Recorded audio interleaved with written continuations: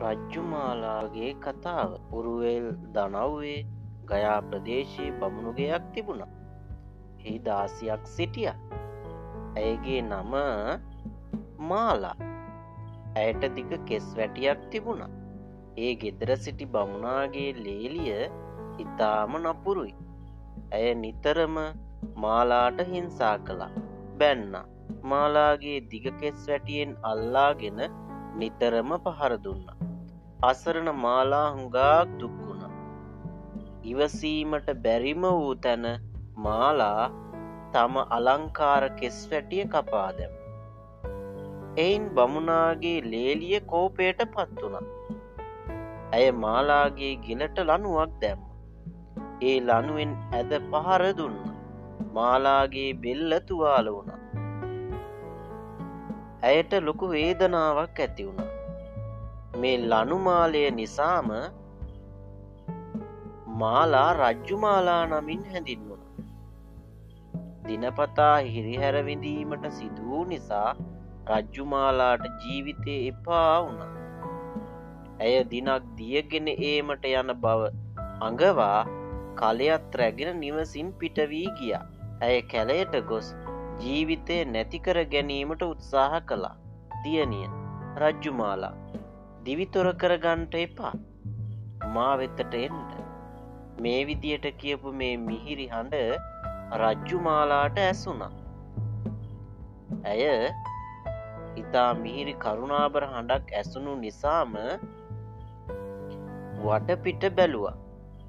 ගසක් මුල වැඩ සිටි බුදුරජාණන් වහන්සේ ඇයට දකින්නට ලැබුණ. ඇය බුදුරජාණන් වහන්සේට වැඳ පසෙකට වුණා. බුදුරජාණන් වහන්සේ රජ්ජුමාලාට ධර්මය දේශනා කළා. ධර්මය ඇසූ ඇය සෝවාන් වුණා.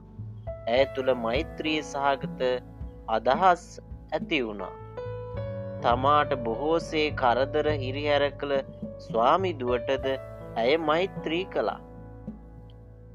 කලයට දියපුරවාගත් ඇය සිනාමුසුමුහුණින් ගෙදර ගියා. වෙනදාට වඩා ඉතාම කැමැත්තෙන් ගෙදර සියලූම වැඩ කළා. ගෙදර බමුණාට ඒ මහත් පුදුමයක් බවට පත් වුණ. වෙනදාමැය දුකෙන් ඉන්නවා. අද සතුටින් ඉන්න. ඇයිගේ සතුටට හේතුව කුමක්ද ඇයි බමුණා විමසුවා. මම අද බුදු හාමුදුරුව සරණ ගිය.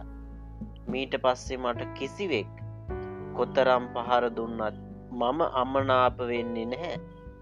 හැම දෙනාට මෛත්‍රිය කරනවා කියලා රජ්ජුමාලා කිව්වා. බමුණා රජ්ජුමාලා ගැන පැහැදුනා. ඇයට හිරිහැර නොකරන ලෙස ලේලියට අවවාද දුන්නා.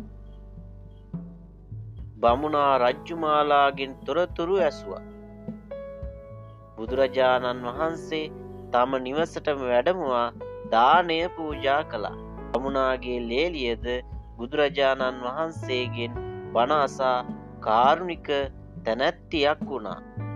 ඇය ඊට පසු කිසිම දිනක රජ්ජුමාලාට හිරිහැර නම් කළේ නෑ.